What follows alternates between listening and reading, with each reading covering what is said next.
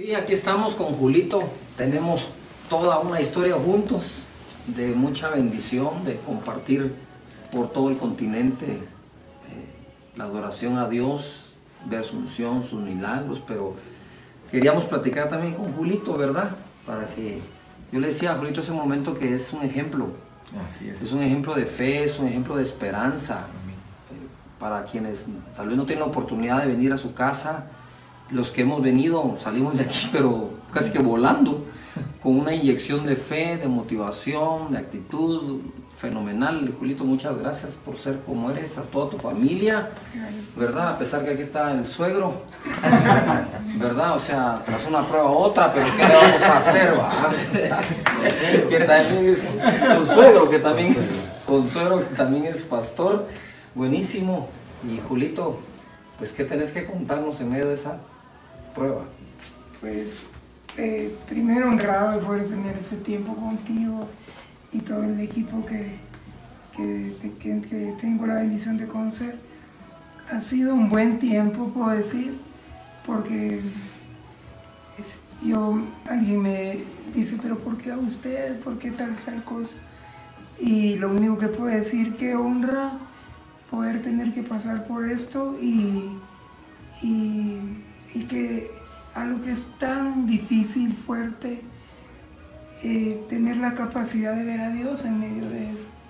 Y he aprendido muchas cosas, no las grandes revelaciones, sino que nos ha llevado un tiempo de, de poder conocer de una manera sencilla y que Dios te quite todas esas cosas que uno pone como argumentos evangélicos religiosos. Creo que a veces nosotros somos los culpables de que no sucedan las cosas como querramos, como Dios quiere, porque somos muy chutíos, ¿no? Y, no dejamos trabajar a Dios, pero eh, uno de los regalos más grandes que yo puedo decir que, que, que estoy viendo con mi familia en este proceso eh, hoy no pude hacer mis ejercicios de canto para poder hablarles, pero aquí... Hace rato hablábamos que parecías como la señal de las radios que hace se va y se viene, pero siempre con actitud. Ah. vale, vale, Vale. Y, y, nada, pues eh, eso ha sido excelente. Eh, Dios me dijo cuando empezó el proceso, te voy a enseñar a valorar mi cuerpo y eso me tiró al suelo a llorar porque me recuerdo que no quería abrir esa noticia más gente. Porque no hay que estar contando a nadie lo que le está pasando. Tampoco es cómodo, ¿verdad? Claro, pero vino un amigo muy querido y me dice, Julio, Dios me habló muy fuerte y estábamos luchando con mi esposa, con, le comentamos a la gente que si no la gente se va a empezar a inventar cosas que no son. Hasta comentándose se lo inventan, pero bueno. Eh, pero ese día Dios nos habló muy, muy hermoso. Viene mi amigo y me dice, me recuerda el pasaje del para, los para, el paralítico que meten por la... Que abren el agujero. El agujero y rompen el techo, hacen una locura y entra. el Señor hace algo muy tremendo. Y, bueno, dice, por la fe de, ellos. de sus amigos. Híjole, yo quería algo que me y al rato ya estamos contándole a medio mundo que estamos en un proceso. Y, y, luego me dijo, voy a valorar, voy a enseñarte a valorar mi cuerpo. Y me dijo que iba que preparar la casa porque iba a parecer un hotel. Con eso no quiere decir que van a venir Pijama party. Y, y bueno, empezó a venir gente de toda clase, de todos. Y y cuando yo veía a cada persona, me decía, ¿ves lo que yo veo? Y siempre creí que amaba a la gente y que amaba a Dios y que...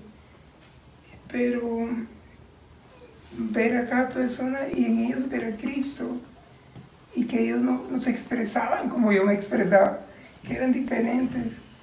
Eso me enseñó mucho Última, diversidad de gente, ¿no? Sí, y, digo lo último, otra cosa, el cuerpo está enfermo, así como una cosita pequeña de tu cuerpo se enferma, todo se duele. Y, y me, hablaba de los órganos que están escondidos, que no se ven, pero que, que esos órganos, muchos en su iglesia, en su cuerpo hay órganos enfermos y que nosotros no nos dábamos cuenta de eso, porque nos gustaba lo exterior nada más, pero no hay órganos adentro. Bueno, un rollo de esos que le agarraron. Y ver el amor de todos ustedes es increíble. Hemos sido sorprendidos por el amor de ustedes. A ver si me tengo que creer que sí me quieren. sí, claro que te Hay gente que no mucho, pero hay unos que sí. Pero hay que enfocarse en ellos. Eso es lo bueno. Y, y, otro regalo, mi familia.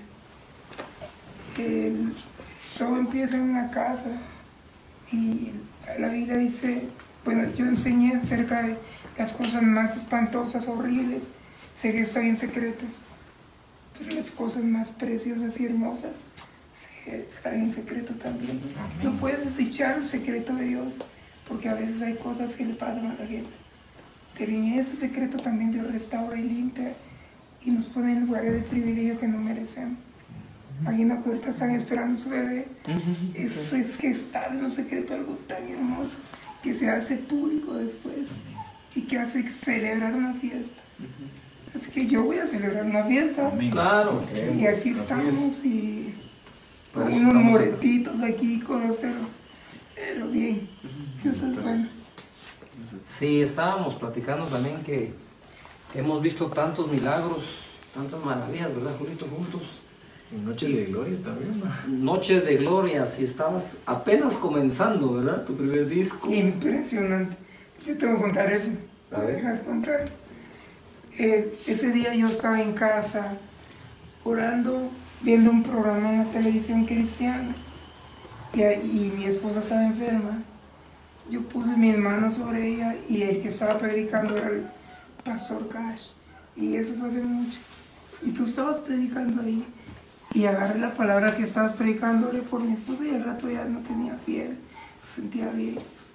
Y, y yo dije, ahí Dios me dio una palabra profética y me dijo, tú vas a estar ahí porque este hombre te va a convocar y tú vas a estar ahí. Yo siempre he valorado a los hombres de Dios y todo, pero nunca los he idolatrado. Pero sí he honrado demasiado lo que tiene Dios. Y ahí empezó una transición al mes, mes y medio, una cosa así, tú me llamaste. Porque estabas oyendo una loca canción que se llama Día Pentecostés. Le dimos la vuelta al continente con esa canción. Totalmente. Y, y era sorprendente porque ese día alguien te enseñó el disco, no sé cómo fue. Pues resulté ahí. Me encantó. Demasiado tiempo. Ese y, tiempo y, tu, y, y tu actitud genuina para alabar y adorar a Dios sin, sin, estar esperando la aceptación del público o algo, sino que es esa mezcla tan hermosa de una persona con el corazón correcto y digamos que, que la interpretación artística correcta. Cuando sumamos esas dos, hay Julio Melgar y otros más. Pero quiero contarles algo que en estas noches de gloria, con ese día de Pentecostés, que de verdad era la rola. Sí. ¿O no? Era, miren, esa cosa era locura. Yo pienso que esa fue como la canción que te terminó de detonar y te llevó a donde Dios te puso. Pero me recuerdo que Julito tenía una... Y, la gente danzaba, bailaba, gritaba, saltaba. Y había un momento en que Julio entraba en, un, no sé, un momento como de, de éxtasis, como Pedro, ¿no? Cuando está en la presencia del Señor y, y se hincaba, era, era una cosa. Entonces, entonces nosotros ya después, como somos buenísimos amigos en, el hotel o donde quiera que estábamos, le decía, bueno, Julito, vas a cantar día de Pentecostés, sí, pero mira, pero mira, le decíamos, pero mira, pero ve, pero ve, le decíamos, pero ve. Y entonces, pero explícale por qué era. Era eso porque se tiraba, se hincaba así, adoraba al Señor, pero iba así en medio de la canción. Entonces, la primera vez que lo vimos nos tocó así, y todos, entonces yo estaba así y estaban las personas en, la, en la plataforma del otro lado. El del sonido hizo así cuando lo vio, dijo, ¿aquí qué pasó? ¿verdad? Y se volvió una cosa así como icónico. era algo icónico en las noches de gloria. Era el algo. campín, ¿te acuerdas en el campín? Que eh, eh, el campín. la gente que estaba atrás en sus sillas Sí. resultó tirada y, y una locura. Locura. En varios lugares donde estuvimos juntos y. Tantos milagros, ¿verdad? Tantos Eso milagros. fue viste. impresionante. Y hace un rato hablabas del milagro de Magalí. Ah, el milagro de Magali. Tú fuiste fue- testigo de ese milagro. Fue terrible, tremendo. sí. Eso, no, eso les, le contaba el pastor anoche que, que es increíble como o sea, tú eres testigo Amén. de que Dios tiene poder y los milagros son para ese tiempo, el poder es para ese tiempo. Si la palabra dice, y me seréis testigos, porque nosotros creemos, por ejemplo, en la resurrección de Jesús, pero no fuimos testigos. No. Lo creemos por el testimonio de otros, pero el poder del Espíritu Santo se nos ha dejado para que seamos testigos, no que ya nos cuenten, sino que nosotros seamos testigos de lo que es capaz de ser. Deberíamos ser testigos también de lo que Dios Sí. hace y obra en ti, Julito, y queremos aprovechar el tiempo para, para orar y decirles a todos que los que conocemos a Julito y a su familia de cerca, es una gran familia genuina, genuina, genuina, genuina, sencilla, que yo pienso que no, no ha llegado a dimensionar lo que el depósito que tiene de parte de Dios en él. Es, esa es la gente que, que como que viajamos por esta tierra eh, sin pensar en grandeza, sino que pensar en servir y, y Julito no es la excepción, Julito es y su familia son gente que de verdad sirve, no que canta, que sirve.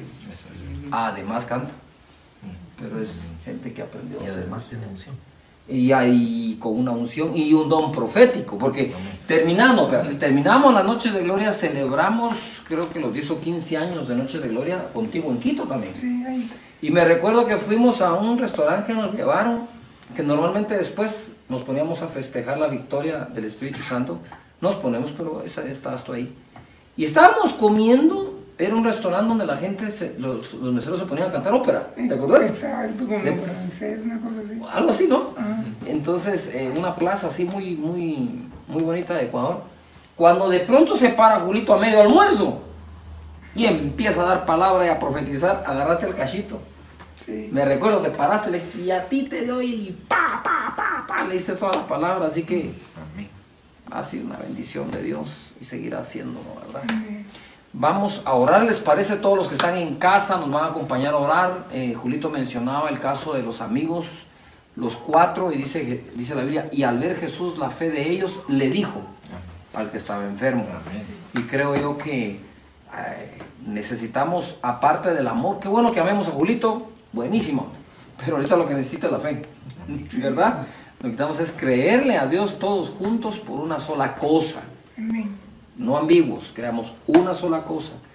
Dios mandó a su Hijo para sanar enfermos y hace miles de años que ocurrió, por su llaga fuimos nosotros curados y eso es lo que queremos creer. Así que te voy a pedir tu mano, Julito. Sí, por favor. Es un gusto y vamos a orar todos. Padre, en el nombre poderoso de Jesús te damos gracias por Julito. Gracias porque también legendario se ha unido, siendo el legendario 13.000, han creído por el milagro 13.000, por 13 días de oración. Y hoy tengo el honor, Señor, de, de que me han permitido participar en este día. Padre, en el nombre de Jesús atamos todo espíritu de enfermedad, todo espíritu de muerte, lo mandamos fuera en el nombre de Jesús. Te pedimos que tu Espíritu Santo venga y llene a Julito en este momento, de la cabeza a la planta de los pies, que tu poder Espíritu Santo recorra cada parte de su cuerpo, cada célula, trayendo, Señor, el cumplimiento de la promesa y el precio que Jesús pagó en la cruz. Por tu herida, Jesús, fuimos nosotros curados. Así que reprendemos toda enfermedad, declaramos vida, vida en abundante, recuperación física, fuerza mental, espiritual, para la gloria de tu nombre. Que su mente esté llena de pensamientos de bien, como tus planes, sino de mal, en el nombre poderoso de Jesucristo. Y gracias por todos los que se unen a estas oraciones. En el nombre de Jesús. Muchas gracias.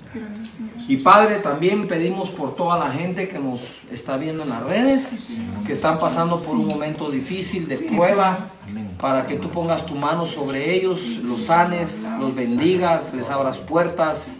Padre, en el nombre de Jesús, toda persona que nos está viendo que pueda estar enferma en este momento, reprendemos esa enfermedad y declaramos vida y vida abundante en todos ellos. Reprendemos el cáncer, reprendemos lupus, reprendemos el mismo SIDA, reprendemos eh, eh, cáncer, tumores, eh, quistes, en el nombre de Jesús, miembros que están inválidos, sin movimiento, como consecuencia de derrame cerebral, en el nombre de Jesús, que todo eso ocurra de que reciban su sanidad para la gloria tuya, Señor. En el nombre poderoso de Jesús.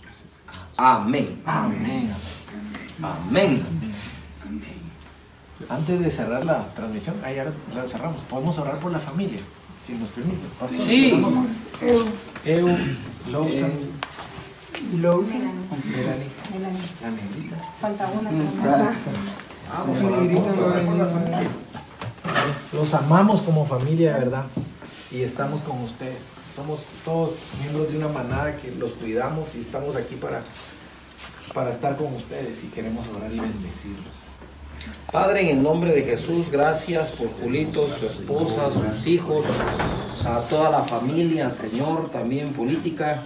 En el nombre de Jesús te pedimos que tu consuelo, tu fuerza, la esperanza, la fe, ah, las promesas estén revoloteando en sus mentes y asentándose en cada uno de esos lugares escondidos en lo más profundo de ellos, que ahí adentro esté enraizada tu palabra, tu promesa, la fe en ellas. En el nombre de Jesús, gracias Señor. Reprendemos todo espíritu de enfermedad, de tristeza y hablamos a sus cuerpos y sus mentes por nuevas fuerzas, luz que las disipe las tinieblas y la confusión y que haya una total confianza en ti en el nombre de Jesús. Amén. amén. Somos tu página web cristiana